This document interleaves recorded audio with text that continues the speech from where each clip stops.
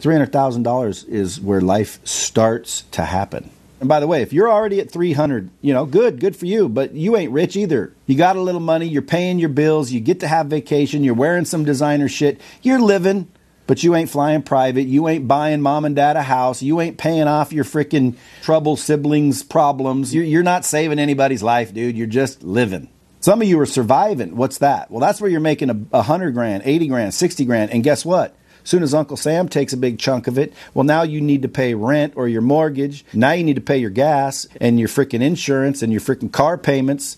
And then you got to buy food, don't you? You got to eat. And who knows? Maybe you're feeding more than just yourself. Well, dude, how you feeding? You're more than just yourself and you're only making 60, 80 G's. What are you eating?